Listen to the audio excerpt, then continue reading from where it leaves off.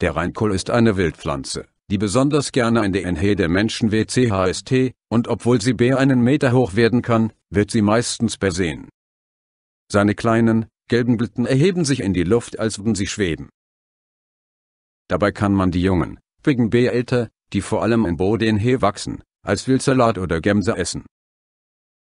Zerquetscht kann man die älter zur Linderung auf Hautentzündungen oder Schnittwunden legen. Als Tee hilft der Reinkohl gegen Lymphknotenschwellungen und Verstopfung. Heilwirkung Schwellung, Verstopfung, Schnittwunden, Hautentzündungen, wissenschaftlicher Name. Lampsana communis. Englischer Name. Nippelwort. Verwendete Pflanzenteile. Blüten, Beälter. Sammelzeit. Sommer.